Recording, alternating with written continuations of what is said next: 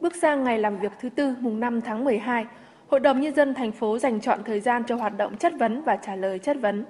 Bà Ngô Thị Doãn Thanh cho biết, tính đến ngày 29 tháng 11, các đại biểu Hội đồng Nhân dân thành phố đã gửi 29 câu chất vấn. Thường trực Hội đồng Nhân dân thành phố lựa chọn tổng hợp 3 nhóm nội dung trả lời trực tiếp tại hội trường là kinh tế ngân sách, quản lý đất đai và xã hội dân sinh. Trong nhóm vấn đề thứ nhất, Hội đồng Nhân dân thành phố đề nghị Ủy ban Nhân dân thành phố báo cáo tình trạng nợ xây dựng cơ bản, nguyên nhân trách nhiệm và giải pháp xử lý nợ. Ông Ngô Văn Quý, Giám đốc Sở Kế hoạch Đầu tư báo cáo, tính đến thời điểm ngày 30 tháng 6 năm 2013, thành phố nợ xây dựng cơ bản hơn 3.200 tỷ đồng. Trong đó, khối lượng các dự án cấp thành phố là hơn 1.400 tỷ đồng, cấp huyện gần 1.300 tỷ đồng và cấp xã hơn 550 tỷ. Con số này cùng với những lý giải nguyên nhân, đánh giá thực trạng của Ủy ban nhân dân thành phố ngay lập tức nhận được hàng loạt chất vấn, tái chất vấn thẳng thắn của các đại biểu.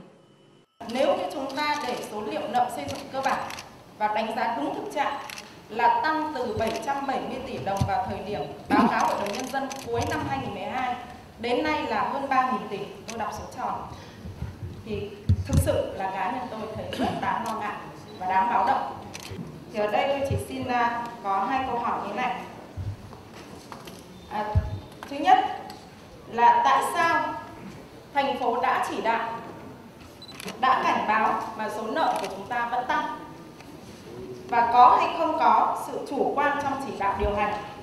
Và công tác kiểm tra để xác định số nợ xây dựng cơ bản là chưa chuẩn xác dẫn đến tham mưu cho thành phố chúng ta điều hành ngân sách là gặp nhiều khó khăn. Là cái bệnh nợ xây dựng cơ bản này có chữa được không? Và nếu chữa nó thì bằng giải pháp gì? Và lúc nào thì phố mình chữa xong Ông Quý khẳng định để chấm dứt nợ xây dựng cơ bản hoàn toàn là rất khó. Tuy nhiên, nếu thành phố quyết liệt, các quận, huyện, sở ngành thực hiện nghiêm thì sẽ xử lý được tình trạng nợ xây dựng cơ bản.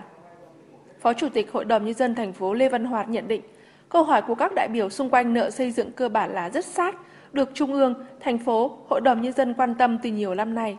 Đây cũng không phải là lần đầu tiên vấn đề được đưa ra chất vấn. Do đó, ông chia sẻ và đồng tình cao với ý kiến của các đại biểu. Kết luận cho nội dung chất vấn đầu tiên, Chủ tịch Hội đồng Nhân dân thành phố Ngô Thị Doãn Thanh nhận định 13 đại biểu và 16 lượt chất vấn tái chất vấn trong sáng nay được thực hiện đầy thẳng thắn và sắc sảo. Chủ tịch Hội đồng Nhân dân thành phố khẳng định lại thực trạng nợ xây dựng cơ bản đến thời điểm hiện nay là vấn đề nóng đáng được quan tâm.